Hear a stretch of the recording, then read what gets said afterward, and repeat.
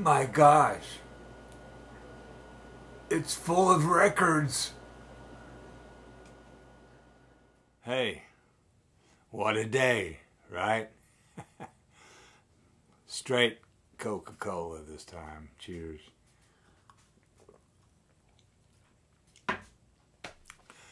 Man, this past month, actually, the past few months have been great for a lot of vinyl community people, and uh, no exception for me. Uh, if you've seen some of my past videos, particularly for this summer, uh, got some great VCLT, some good finds. But this is um, the last day of August, and I'm going to post some recent August finds. Most of these are from crate digging at my usual haunts and honey holes, thrift stores, uh, antique mall, uh, used record bins. Plus, there's a few online purchases that I made of some reissues. Kind of treated myself for once when I, I had a little blessing of a little extra money.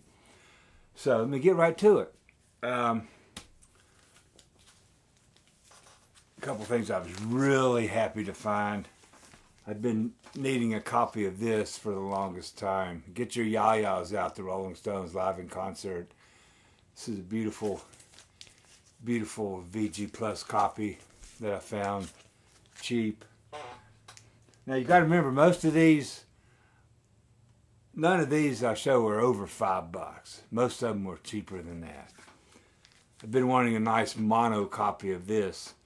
Uh, previous copy I had was stereo enhanced, you know, one of those. Uh, I, well, you know my my philosophy on that. I particularly despise those uh, stereo enhanced to resemble stereo albums, but this is a this is a true mono.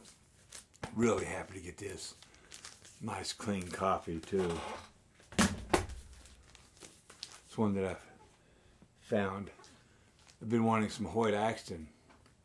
Life Machine. Love Hoyt Axton. This is actually the first Hoyt Axton album I've had. I've had some um, uh, CDs, MP3s and stuff, but really happy to find this cheap.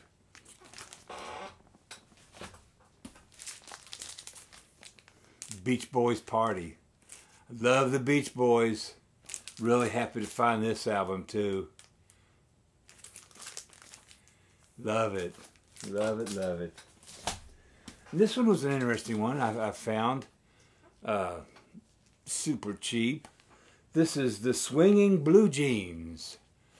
This is a compilation of early to mid 60s. Uh, these were uh, some more boys from Liverpool that were apparently contemporaries of the Beatles in the Liverpool scene of the early to mid 1960s. Although they never got the breaks and the accolades that the Beatles got, this is actually some pretty interesting uh, British rock and pop, and it's a keeper. This was a, uh, I think this was a, was it a German or a British? No, no, no, no, no, I can't really tell. I think this is a uh, German, German comp.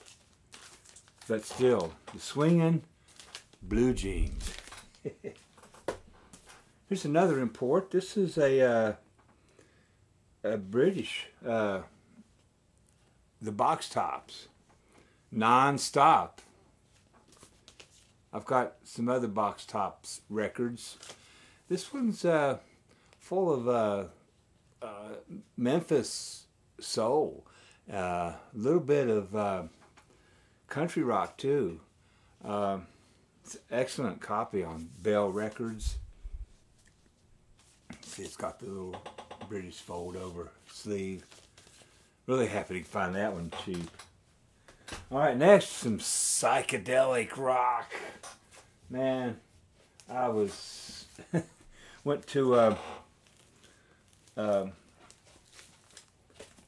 a hobby store in Tazewell and and uh, found a bunch of stuff that was like super cheap.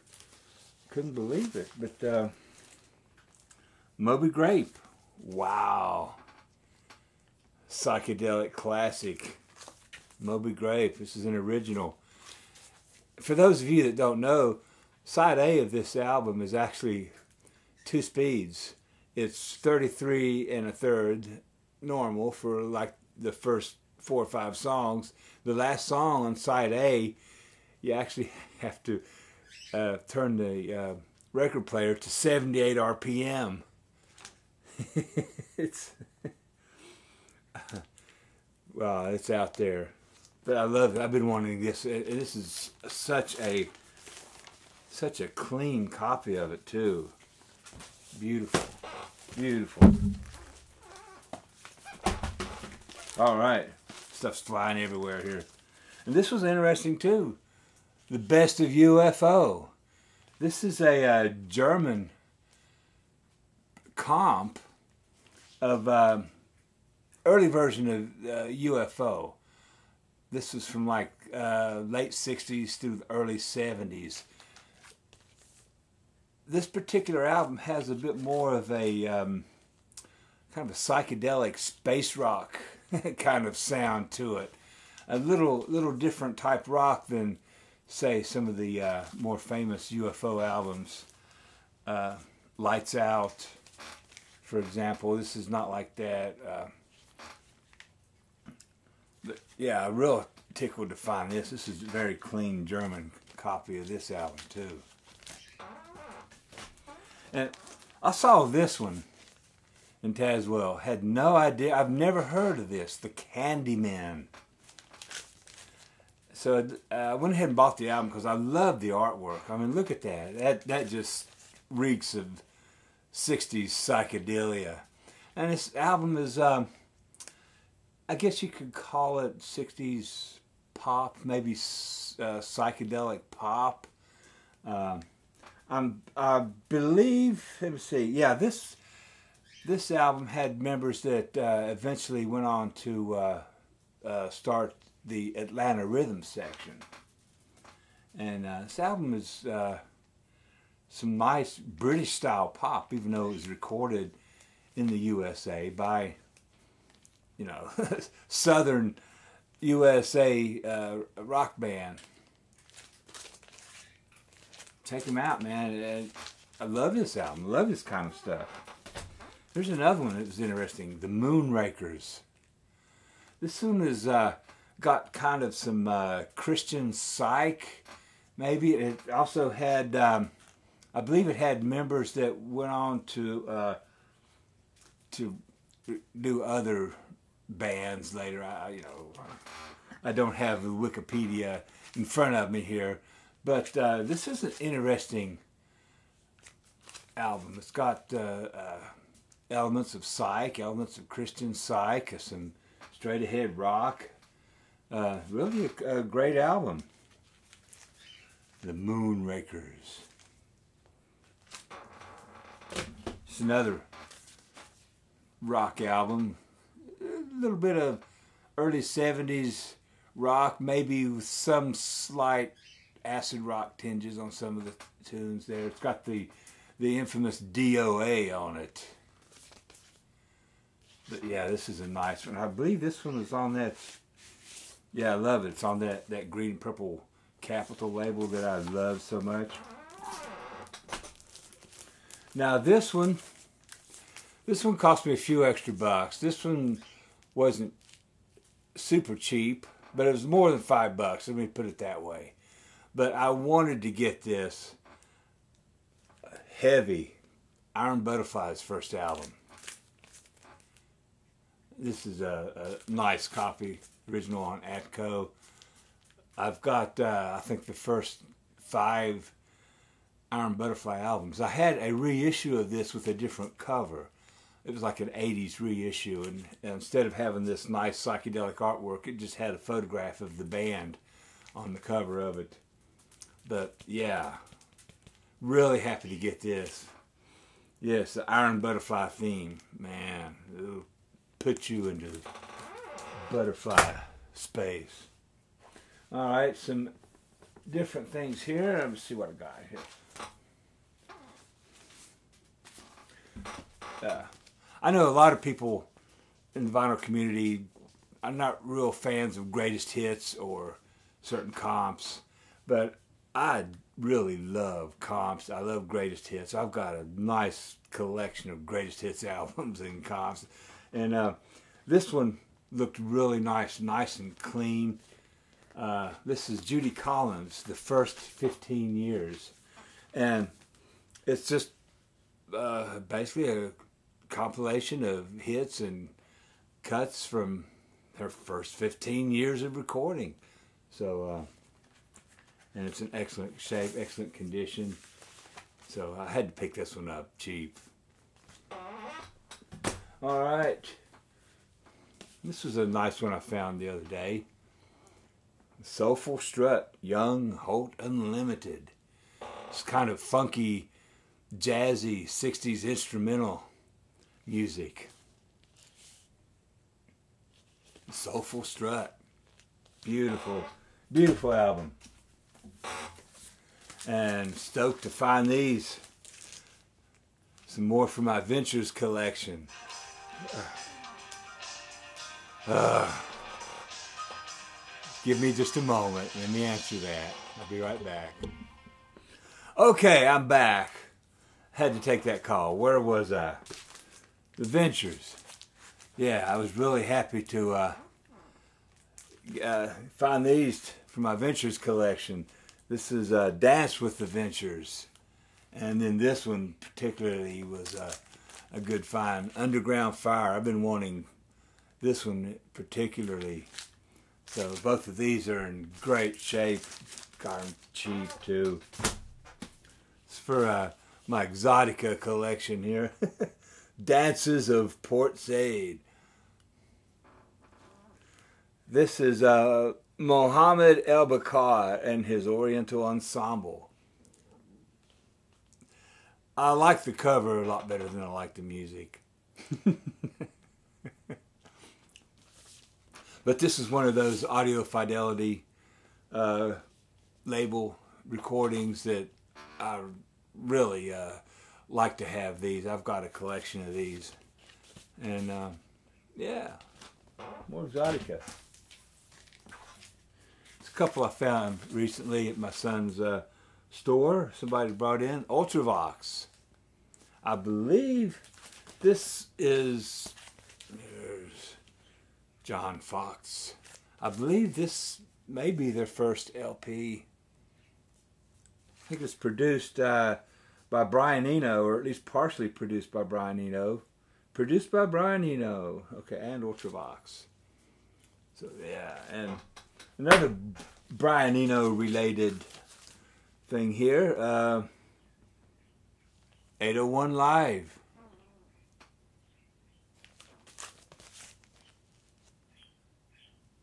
Also got uh, Brian Eno and uh, uh, see Phil Manzanera of uh, Roxy Music and other musicians. Some nice little, uh, eh, sort of prog, sort of rock. It's another comp.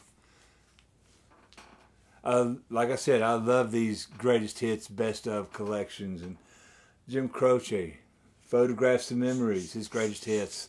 This has got everything you need from Jim Croce. Bad Bad Leroy Brown, Operator. Rapid Roy, the stock car boy. Time in a bottle. Working at the car wash blues. A lot of great stuff. It's excellent coffee too. It's a couple of rock and roll. Nice 70s rock here. It's Blue Oyster Cult. Tyranny and Mutation. Love some Blue Oyster Cult. This is from their, I think this is their second album. During that period where all their album covers were in black and white. like this. Cactus Restrictions. Some good old early 70s rock and roll. I believe this had members of, um, see, Carmine Appice, Tim Bogert. Yeah, from, from Vanilla Fudge. Their little after Vanilla Fudge or side project, whatever you call it. Some great rock and roll. Here's some uh, jazz that I found just the other day. Really nice. Count Basie. Classics by the great Count Basie Band. Look at that. I love that glossy cover. I mean, this is a nice, clean copy. Columbia 6i. And just look at this. That's like a near mint. It's glossy. It's beautiful, beautiful album. All right. And here's one. This is still sealed. This is a, a MCA reissue. It says MCA Impulse. But I was unfamiliar with this artist, but about anything I can find that's got the uh, Impulse name on the label, it's got to be pretty good. And you know what? This is sealed. And let's just pop the seal on it here. Little thumbnail. Ah, there you have it. All right, let's see what this looks like. Okay, it's got the blue MCA rainbow label with, uh, in small letters, Impulse. But still, hey. It's like a brand new record. and got this one pretty cheap.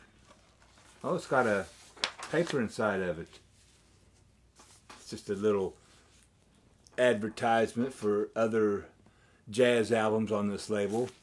So I'm looking forward to giving this a listen. Need to, uh, oops, sorry about that. I banged the tripod. You hear my chair. Yeah, the old chair. All right, and finally, last two items here. Kind of treated myself. I I normally don't order things online uh, I usually tend to shop locally at uh, local shops and thrift stores because it's cheap and I'm cheap. But I got a little bit ahead, had a few bucks, and a couple things that I've been wanting to get for a long time. There's uh, no way I can afford originals. So I, this is a Music on Vinyl reissue of July. Nice uh, 1968 um, uh, psychedelic album. Love this stuff too. On the major minor label and ultimate spinach behold and see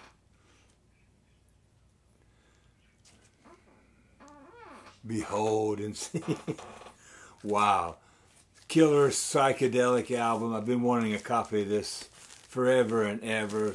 And there's no way I can track down an original. So this uh, this Sundazed reissue is just perfect. Sounds awesome. I'm happy with it. So there you have it. That's that's my finds and buys from uh, the last few weeks of August. And uh, hey, it's been a good summer so far uh, in a lot of ways, not just in vinyl, but uh, been blessed in so many ways with my family and other things. And uh, I hope it's uh, been a blessing, a blessed summer for all of you folks too. So peace and love. We'll see you later. Bye bye.